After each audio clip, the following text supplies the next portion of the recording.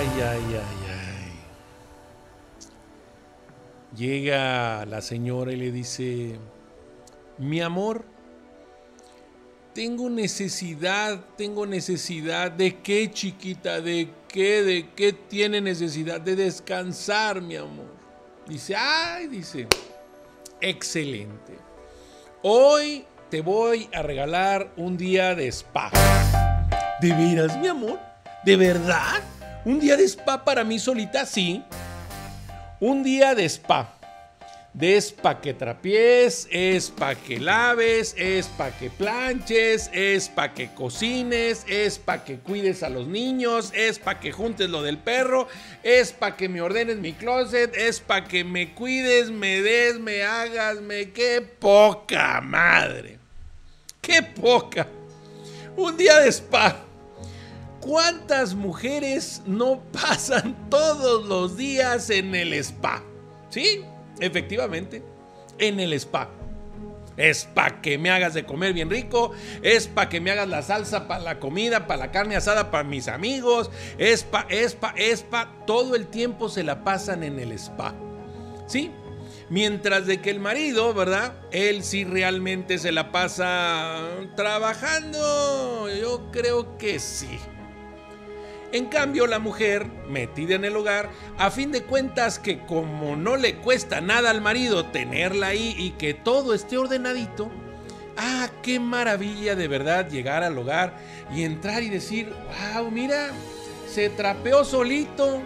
A ver, a ver, déjame checar, a ver, abrir el cajón así, ¿verdad? Y mira, mis calzones, uno de cada color, lunes, martes, miércoles, jueves, bien, que a toda madre. Bien, mis camisas. Mira, nada más almidón. Hombre, bueno, qué genio ha de haber venido. Y sí, un genio.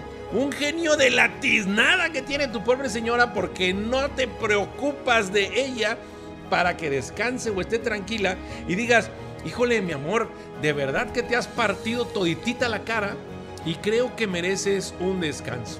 Sí, un día de spa, pero de spa, de spa, donde la mimen, la chiquien le den un masajito, esté tranquila, desayune riquísimo y por primera vez en años a lo mejor, o en toda su vida, desayune algo que ella no cocinó.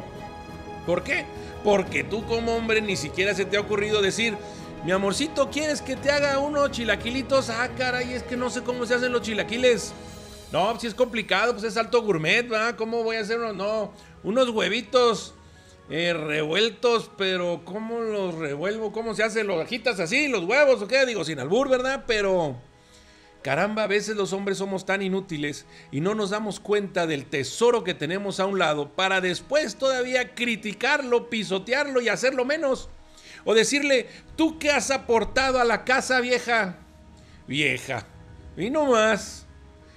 Miren, vamos arreglando las cosas y vamos amando a nuestra mujer como se lo merece. Yo sé que a lo mejor habrá algunas que no merecen ni siquiera llamarse mujeres, que ya hablaremos de eso, pero la gran generalidad, casi todas, 10 de cada 10, ¿verdad? Porque las otras son medio raras, pero 10 de cada 10, les aseguro que, caramba, deben de merecer lo mejor de lo mejor. Y así tus hijos se dan cuenta que se le debe de respetar a la mujer y que se le debe de tener en un pedestal dado que te regaló la vida y no solo eso. Ella se preocupa porque tu vida siga siendo una maravilla. Así que regálale un día de spa, no seas gacho, no seas codo, no seas mendigo, no seas... Ay, ¿qué más te puedo decir? Pero bueno, soy tu amigo Jorge Luis el Mago. Si conoces una mujer así, pues compártele el video. Si conoces un galán de esos que piensan que su mujer no ha hecho nada por ellos, compártele el video a ver si se le quita lo pen. Lo pen. Ay, Mago, no digas malas palabras. Lo pendejo, ¿verdad? Para que trate bien a su mujer. Como siempre, recuerden y recuérdenlo muy bien, síganme en las redes, manténganse en contacto, denle like, participen, porque si no luego los videos no les llegan porque Facebook va a entender que no encuentras interés en el contenido y no te lo envía. Si tú le das like, haces algún comentario, te los va a estar enviando constantemente. Si no, búscalos en YouTube, ahí está en mi canal, suscríbete a mi canal de YouTube, ahí están todos los videos ordenaditos. Y si no, sígueme en Instagram también. Ahí estamos con mensajes, con fotos, con de todo un poco. Soy tu amigo Jorge Luis el Mago y como siempre te recuerdo, cuiden a los niños que son el futuro del mundo.